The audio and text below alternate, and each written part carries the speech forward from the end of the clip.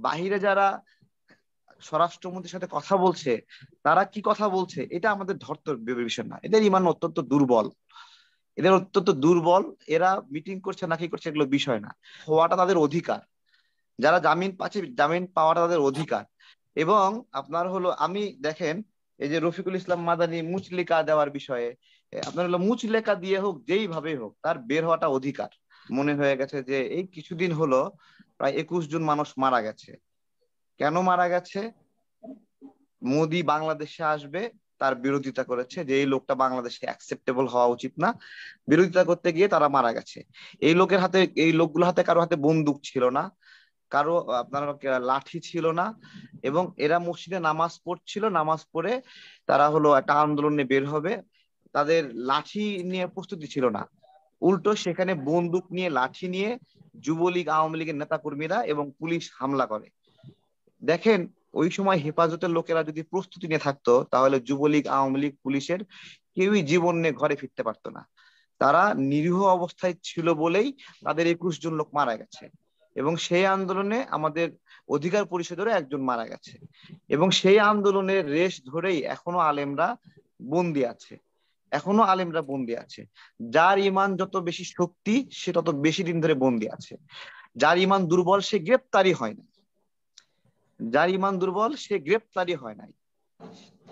ঠিক আছে? সুতরাং বাহিরে যারা স্বরাষ্ট্রমন্ত্রীর সাথে কথা বলছে, তারা কি কথা বলছে? এটা আমাদের ধরতে বিষয় না এদের ইমান অত্যন্ত দুর্বল। এদের অত্যন্ত দুর্বল। এরা মিটিং করছে নাকি করছে, এগুলো বিষয় না। যারা ভিতরে আছে তারা হলো ইমানিক ভাবে শক্তিশালী তারা যখন বের হবে তখন এই সকল দুর্বল ইমানদের সিদ্ধান্ত মাটিতে মিশে যাবে। মিশে যাবে। কারণ বাঘ যতদিন পর্যন্ত বন্দি থাকে ততদিন পর্যন্ত বিড়ালগুলো লাফায়। বাঘ যখন বের হয়ে আসে তখন আপনার হলো ওই বিড়ালগুলোর গুরুত্ব আর থাকে না। এখন মূল কথা হলো যে হেফাজতের যে লিডাররা যারা বের হচ্ছে তারা কি কোনো আপনি বোঝাতে চাচ্ছেন যে তারা কোনো সুবিধা হ্যাঁ, পেয়ে সেই বিষয়ে সেই বিষয়ে কথা বলছি আমি সেই বিষয়ে কথা বলছি। আপনার হলো যারা বের হচ্ছে বের হওয়াটা তাদের অধিকার। যারা জামিন পাচ্ছে জামিন পাওয়াটা তাদের অধিকার। এবং আপনার হলো আমি দেখেন এই যে রফিকুল ইসলাম মাদানি মুচলিকা দেওয়ার বিষয়ে আপনার হলো মুচলেকা দিয়ে হোক যেইভাবে হোক তার বের হওয়াটা অধিকার। ঠিক আছে? এই বিপদগ্রস্ত অবস্থায় যে কোনো মানে শর্তে হ্যাঁ হুজুর, জি হুজুর, আপনি সঠিক বলেছেন। এসব বলে বের হওয়া খুবই স্বাভাবিক বিষয়। এবং আপনারা দেখেন, এখানে তারা বন্দীদেরকে কীভাবে ট্রিট করছে? রফিকুল ইসলাম মাদানি সহ বেশ কিছু হুজুর সাথে আমি ব্যক্তিগতভাবে চারবার অ্যাটেম্প দেখা করতে গেছি। আমাকে দেখা করতে দেওয়া হয় নাই। কোনোভাবে দেখা করতে দেওয়া হয় নাই। যে কেন দেওয়া হয় নাই? তো আমি যেটা বুঝতে পেরেছি যে, তাদের একটা কাউন্সিল চলছে কাউন্সিলিং চলতেছে। তাদের ব্রেন স্ট্রমিং চলছে। আমি যেটা মেসেজ পেয়েছি যে তাদেরকে বের করবে। তার আগে তাদেরকে সরকারের প্রতি অনুগত থাকা বিভিন্ন বিষয়ে। যতক্ষণ পর্যন্ত সেই সকল বিষয়ে পূর্ণ গ্যারান্টি না পাচ্ছে, ততক্ষণ পর্যন্ত গ্রেপ্তার তাদেরকে ছাড়ছে না। তো এই জায়গা থেকে হেফাজতে আপনার হলো মিটিং করে যেটাই করেন, সেই জায়গা থেকে তাদেরকে বের করার জন্য সব ধরনের শর্তে রাজি হওয়া দরকার। আমার ব্যক্তিগতভাবে মনে করি যে যে যে, যেটাই বলুক, তাদের বের করা দরকার। এই মানুষগুলো অনেক কষ্ট করছে এবং তাদের জামিন অধিকার। হ্যাঁ এখানে অনেক ধর্ষক জামিন পেয়ে যাচ্ছে। হ্যাঁ পাবনার এমপি সাহেব, উনি ধর, উনি ধর্ষিতাকে বিয়ে করার শর্তে জামিন পেয়ে গেছে। তাই না? তা আমার আলিম ভাইয়েরা কি অপরাধ করেছে? এরকম ডান্ডা পেরি পরে ঘুরাচ্ছে, কি অপরাধ করছে? যে তাদেরকে এতদিন ধরে বন্দি। এই যে বগুড়াতে তুফান, মা এবং মেয়ে দুইজনকে ন্যাড়া করে দিছে, যৌন নির্যাতন করে। আপনারা সবাই মিলে আমরা কান্নাকাটি করছিলাম। সেও ওই মেয়েকে বিয়ে করার শর্তে সে জামিন পেয়ে গেছে। ঠিক আছে তো আমার আলেমরা কি মানে অপরাধ করেছে এতদিন ধরে? কতদিন?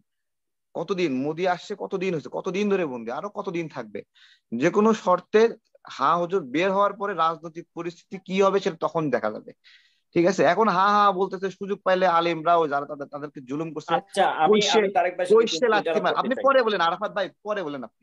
ঠিক আছে? এখন এখন? হ্যাঁ হুজুর যারা বলতেছে সুযোগ পেলে কাউন্টার পার্টনার কাউন্টার না আমার কাউন্টার দিলেও সমস্যা নাই ভাই। আমি কাউন্টার নেওয়ার জন্য একবারে পুরোপুরি প্রস্তুত আছি না না আপনার বক্তব্য তো সুন্দর কেন কাউন্টার পার্ট দেব? আপনার কথা সাথে আমার কথা কাউন্টার দিলেও সমস্যা নাই। আমি আছি আপনি একটু পরে বলেন। কাউন্টার কথা বলে দেব বাকি আপনার কথার সাথে তো যাবে না যাবে না। আমি আছি আমি চলে যাব না আমি আলেমদের মুক্তি চাই।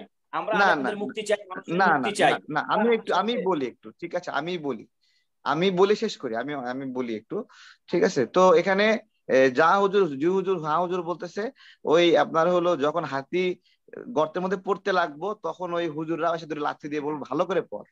হ্যাঁ এখন ওইটা সমস্যা নাই। এই বিষয়ে কোনো, আমরাও দুশ্চিন্তা করি না যে কার সাথে বসল। তবে আমাদের একটা মানে আফসোস থাকে যে আমরা লড়াই করছি সেই লড়াইয়ের বিরুদ্ধে গিয়ে কেউ যদি একটা স্টেটমেন্ট দেয়, আমাদের লড়াইটা দুর্বল হয়ে যায়।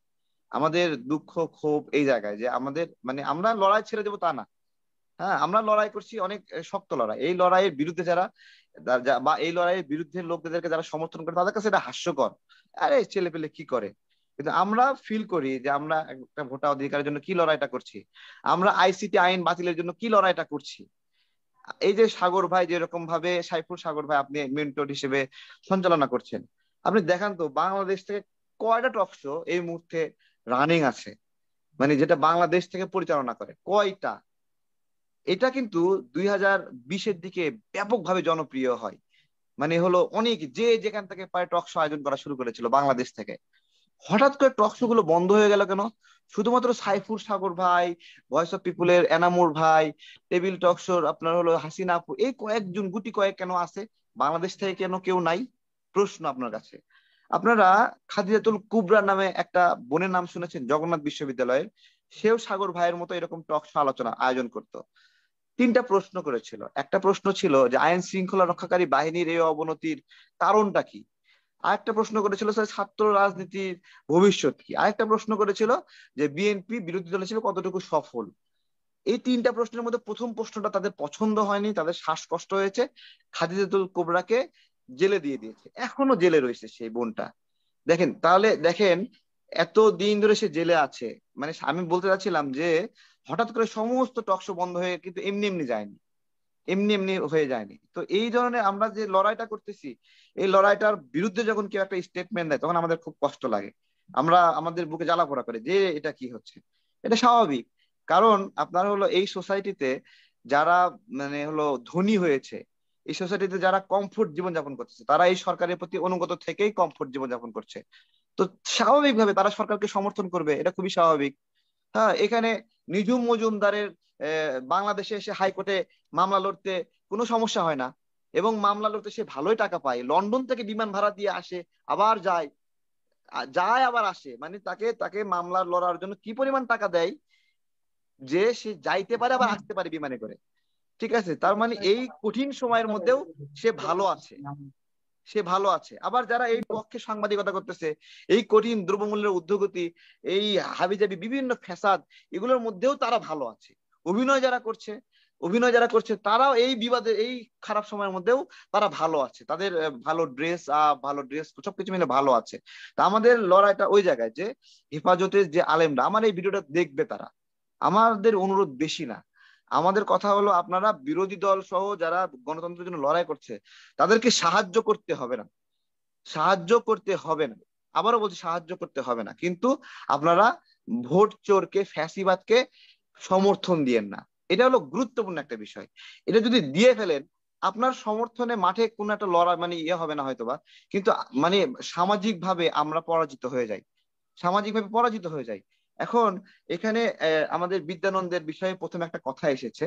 ওই কথাটা আমি মিস করেছি না, আমি বলার সুযোগ পাইনি। রানা বাবু নামে একটা লোক এখানে যুক্ত হয়েছিল। তিনি সম্ভবত সনাতন ধর্মের একজন লোক।